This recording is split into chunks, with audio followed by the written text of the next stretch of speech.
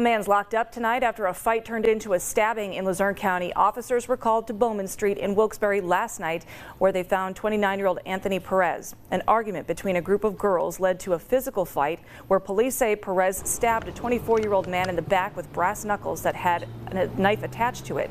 Perez was charged with aggravated assault and other related offenses.